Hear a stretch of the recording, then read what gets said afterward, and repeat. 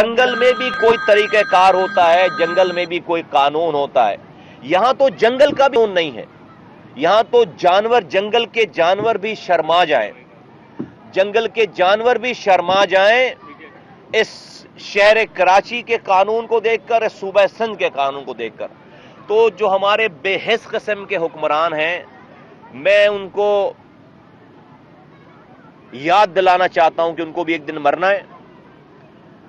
مرنے کے بعد ان کا حساب کتاب ہوگا۔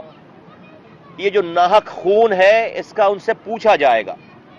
ان بچوں کے معصوم بچوں بچوں کے ناحق خون کو پوچھا جائے گا۔ اور صرف یہی نہیں، لوگ پانی نہ ملنے سے مر رہے ہیں، لوگ بجلی نہ ہونے سے مر رہے ہیں، لوگ اسپتالوں میں دوا نہ ہونے سے مر رہے ہیں۔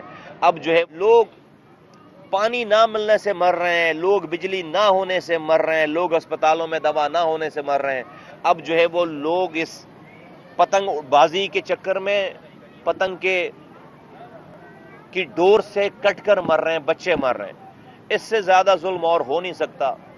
میں حکومت سے مطالبہ کرتا ہوں کہ فل فور تمام تھانوں کو یہ آرڈر کریں کہ اس پتنگ بازی کو بند کیا جائے چیک کریں اس کو پتنگ بازی کو بند کریں اس کو چیک کریں۔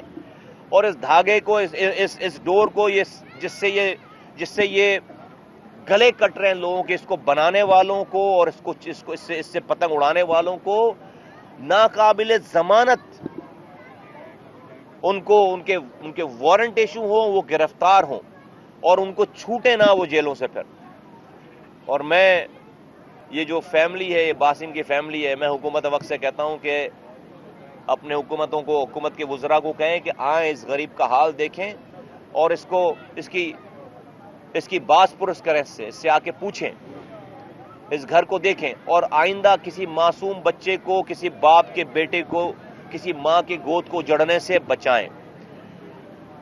میں اس موقع پر یہ بھی کہنا چاہتا ہوں کہ آج جو شہر کا حال ہے، لوگ اس رمضان میں پارکوں میں اپنی فیملیز کے ساتھ پوری پوری رات جو ہے وہ سڑک پہ، فٹ پاتھ پہ اور پارک میں گزار رہے ہیں۔ اس لیے کہ گھر پہ گھر پہ لائٹ نہیں ہے۔ گھر پہ گرمی ہے۔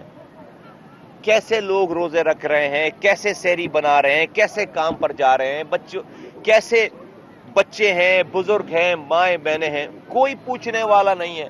بھائی چلو، آج یہ مسائل ہیں۔ مجھے یہ اطمینان ہو جائے کہ ہاں بھائی، اب میرا مسئلہ آج سے دو مہینے کے بعد، چھ مہینے کے بعد حل ہو جائے گا، اس لیے کہ حکومت کچھ کر رہی ہے۔ نہیں نہ حکومت نے کل کچھ کیا ہے اور نہ حکومت آج کچھ کر رہی ہے میرے آئندہ آنے والے کل کو ٹھیک کرنے کے لیے میں بتانا چاہتا ہوں کہ ہمارے جو سولہ نکات ہیں، اس کے علاوہ اور کوئی حل نہیں ہے کراچی والوں کے پاس۔ اس مسائل کا حل ہمارے پاک سرزمین پارٹی کے سولہ نکات میں ہے ہم ہر آخری سانس